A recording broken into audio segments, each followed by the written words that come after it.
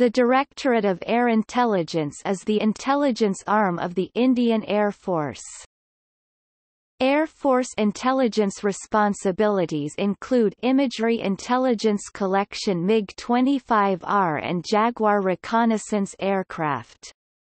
During the 1971 war with Pakistan, Russian satellite imagery provided India with information on Chinese force deployments and with advances in the Indian space program, the Indian Air Force will be acquiring independent space-based imagery intelligence capabilities.